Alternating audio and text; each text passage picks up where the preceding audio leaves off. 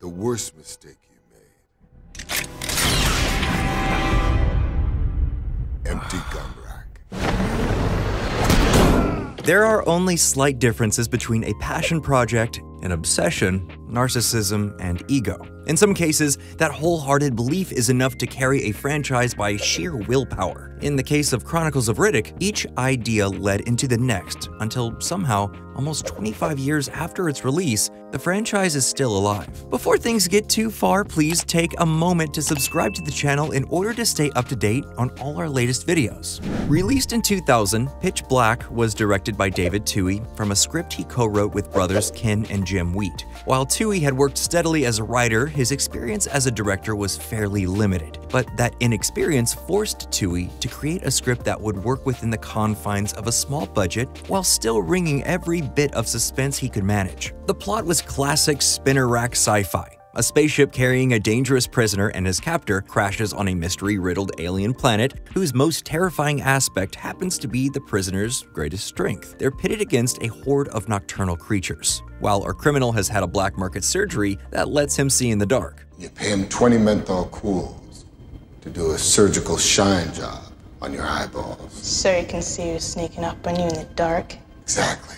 At least that's what we're told in the first movie but we'll get to that a little bit later. For this movie, it's a pretty wonderful bit of character exposition that he's augmented himself in order to be more efficient at his chosen profession crime. We're not told much about our anti hero. It's mostly warnings on behalf of Riddick's captor, William Johns, played by Cole Hauser, a mercenary posing as an intergalactic lawman. There is something so undeniably charming in Diesel's portrayal and that almost wasn't the case. As the story was initially being developed, Steven Seagal was considered for a role with director Twohy, outright refusing to work with the notoriously difficult actor. He admitted that Diesel didn't give the best audition, but he saw something there. While mostly known for a supporting role in Saving Private Ryan, Diesel's dedication to the role of Riddick is infectious. Riddick is a murderer and thief in the vein of Snake Plissken. Call me Snake from Escape from New York. In the same way Kurt Russell elevated Snake, Diesel makes our begrudging antihero someone we cheer for. Even after the movie's success of over $53 million,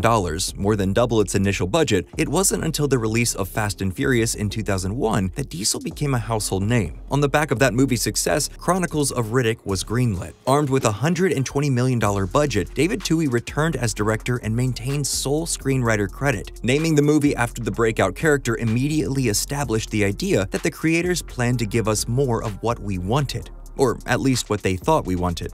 Give me your soul. While the initial script for Pitch Black focused on an ensemble cast, Twohy and Diesel saw Riddick as the breakout character. There is a reverence and worship of Riddick all over Chronicles. Instead of the tight survival horror of Pitch Black, we now have a sort of intergalactic epic fantasy. We're introduced to the Necromongers, a space cult who worships death and annihilation, steadfast on wiping out entire planets. We're also now told that Riddick is one of the last remaining Furians, a race of mythic warriors from the planet Furia. Do you remember your home world? Where it was? Have you met any others? Others like yourself? Sister, they don't know what to do with just one of me.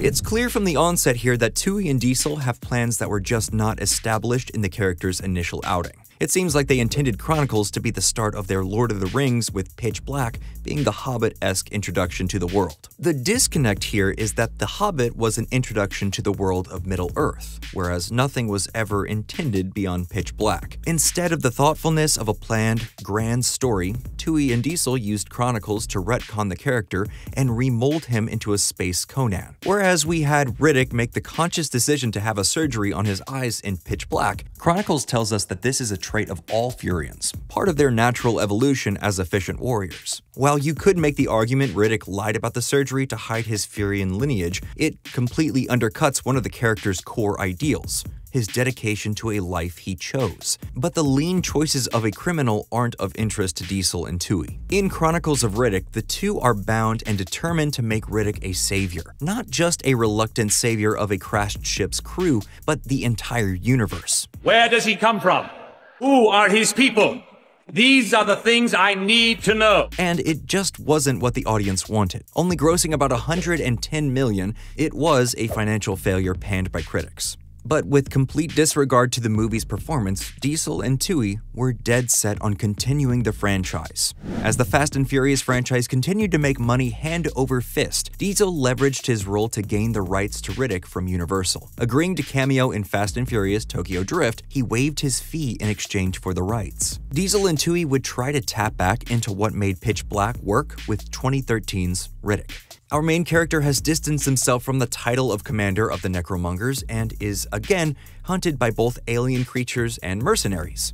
A lot of the movie feels overly dialed in, a sharp course correction that is more jarring than comforting. Everything feels a little hollow, even if we know how much Diesel believes in the project. When the money dried up, he put his own home on mortgage until the bank's loans went through. And while that's admirable, there just isn't enough of a backbone to rest these hopes upon. As the franchise carried on, simplicity was shoved aside in favor of establishing a universe. Diesel's entire career is made largely of his own fandom. From the 2015 The Last Witch Hunter, based on the actor's actual Dungeons & Dragons character, to the way he obsessively wants to build a universe around what was his breakout role. On one hand, it's beautiful to see someone love something as much as Vin Diesel loves wearing tank tops and goggles. On the other hand, it's frustrating when we know that ideal universe in his mind is not what we loved about the first film. Now, what are you going to do to get that cred back?